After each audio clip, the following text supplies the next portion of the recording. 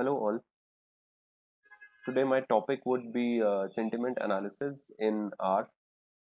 So we are going to prepare a model, uh, a NLP model based on uh, sentiment analysis. We are going to use uh, sentiments of the reviews on Amazon products. So the data that we're going to use is Amazon product reviews. I have extracted a few reviews from Amazon.in for different products and I'll tell you how to extract them. The output that we are expecting are uh, the sentiment score based on reviews. And uh, it can help a customer to take a better decision that which uh, product to go for you know considering different brands by just uh, analyzing the reviews. So the product the brand which has more positive reviews the customer can definitely go for that. And we are going to visualize uh, our uh, model on Tableau. So let's start. I have already uh, written the script here just to save some time.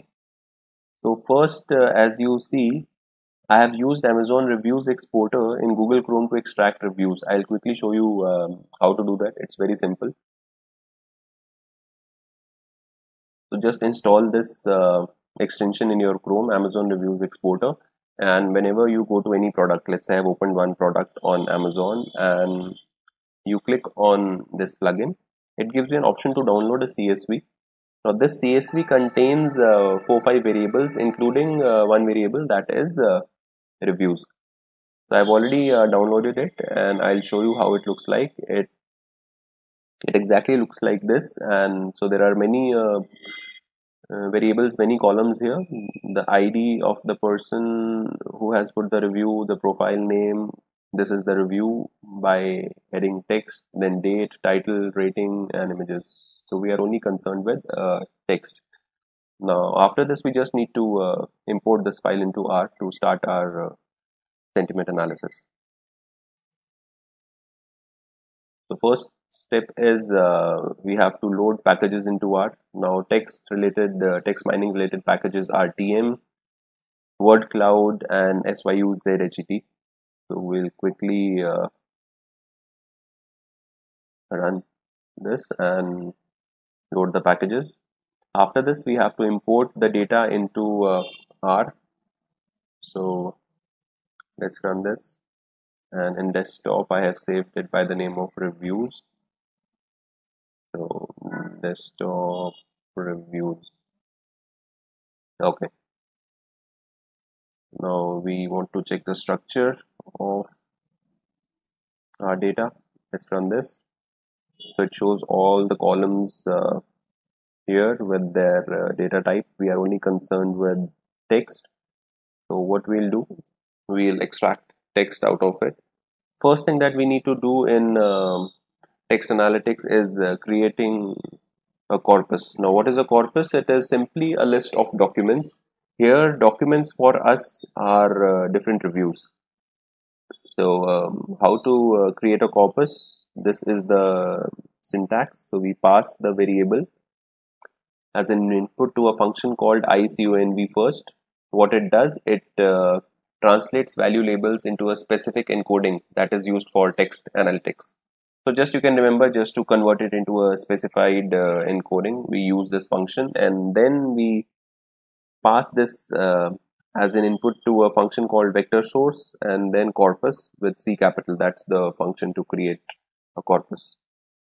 So let's run this. We have created the corpus now, how does a corpus look like? For that, uh, this is the function called inspect where we are going to see corpus only uh, first five uh, observations, first five rows. So, out of all the reviews here, you can see in corpus, the first document is the first review, second document is the second review, and so on for 5 because we have given uh, 1 to 5 here. Now we'll perform uh, cleaning on our corpus and for that uh, tm underscore map function is used. So what we pass as input is first the corpus and what to do with the corpus in the second input. so first we are going to convert every alphabet to uh, the lower case let's run this now we'll remove punctuations from our corpus we'll remove numbers from our corpus. We'll remove all the stop words like is the are and so many stop words are there in english. So we'll remove all that because that are of no use. And uh, so i'll run this file later. I'll tell you why. Let's run the next one. Strip white space basically uh, remove spaces from uh, the start and end of any text and let's now inspect the corpus again. You will see all the changes that we did. So like this sentence is starting with isn't so probably the first word could be this isn't one books and something. So you can see that the stop words are removed and so are punctuations numbers and all the words are converted into uh, lowercase. Yeah. And uh, now we are just uh, building a final object by name of uh, reviews underscore final and passing the data the corpus data there. And we are going to use this uh, reviews final now. So next we are going to create a term document. What is a term document? Um, you will see again. So how how to create it. This is the function term document matrix and we pass the corpus the refined corpus in it and how it appears the term document matrix you can see by this code again only first 10 rows and first 5 columns. So this is a term document matrix. Uh, each row represents each word that is there in the corpus and each column represents each uh, review. So let's see like the word also it appears four times in the first review two times in the second review and zero times in next three uh, reviews. So this is a term document uh, that we have created. Now let's build a bar plot. Now uh, what we are doing we are uh, summing up all the values in the rows to get the actual uh, occurrence number of occurrence of that specific word. And we are taking a subset where only we want those words whose occurrence is uh, greater than or equal to 25 because any word with less than that occurrence would not be of much use for us. So let's create this uh, bar plot. Now this tells us that which word has the highest uh, occurrence, highest frequency. So you can see that the book word has highest frequency, then is life, then is read. But all these words, if you see, these words doesn't represent any sentiment. These are very common words uh, that are used in reviews of uh, of any any book. Any book reviews will have a word called book called read. So we can ignore these words. Now let's run this line again. So we are manually removing all book words read and life. All these words. Let's run this again. Run this run this this and let's say again create a bar plot. Yes. So now we have used that most uh, common words which doesn't represent any sentiment. Now we can see that the highest frequency word is is good. And uh, so there are there are other words also like you know must is also there simple is also there beautiful is also there so this gives us an idea that uh, most words that are uh, used in the reviews of uh, this book are uh, positive words. Let's create a word cloud. And what is a word cloud? I'll again show you after running this. So this is a word cloud and uh, we can pass the inputs like the first input would be what the words are going to be. It's the names that's that's obvious. And then the frequency maximum words is equal to 50 that means a cloud can this cloud can have maximum 50 words. Random order is equal to true so that it's randomly arranged. Minimum frequency colors and scaling. Scaling is used to fit the size sometimes. Like the scaling 3 comma 0.3 means that the the word with the highest frequency if that has a size 3 then of the lowest frequency would be 0.3 okay so now this is the output that we get. We can see here that good is used most of the times then there is uh, great also you know at the above you know on the upper side of the cloud. Then on the left you can see words like happy like and uh, so you can see that most of the words are uh, on on the lower uh, left side you can see amazing. So you can see that uh, most of the words that are uh, being used very often in the reviews they are uh, positive words. And now we'll be finding uh, sentiment scores of uh, reviews. How do we do that? Again let's take only the text variable which contains all the reviews. Now pass that into a function which is called get nrc sentiment. It basically gives us the scores based on a few emotions. I'll show you that. So when we pass this to get nrc sentiment and just see that how this looks like.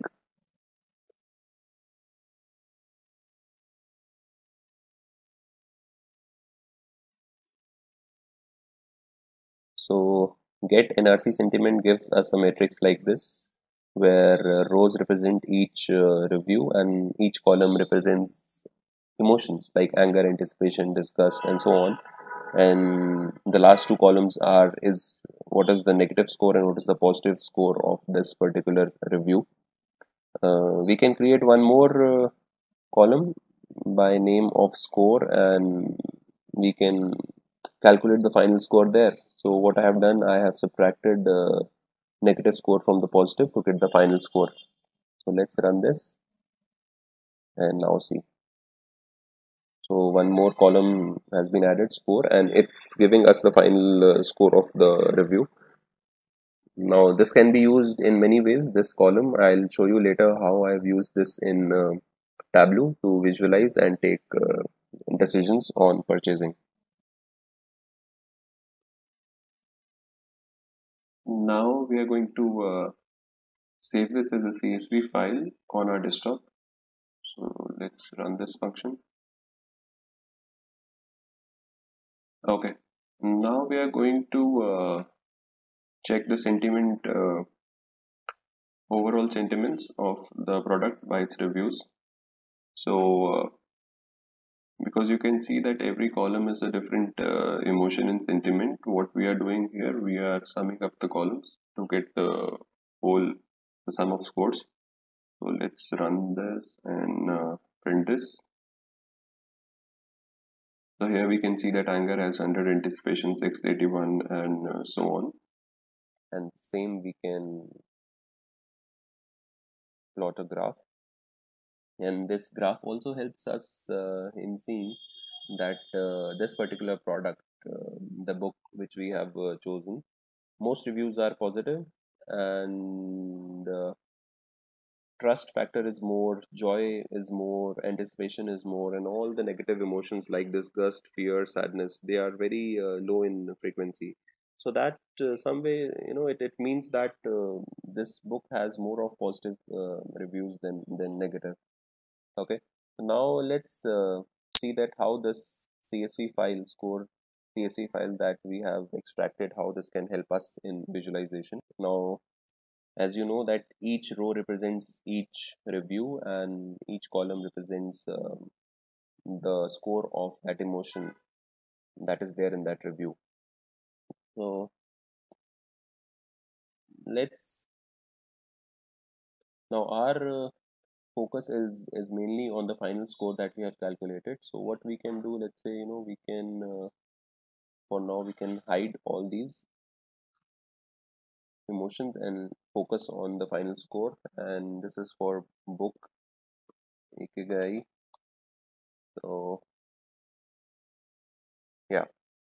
Okay. Now what i have done i have created a same file already.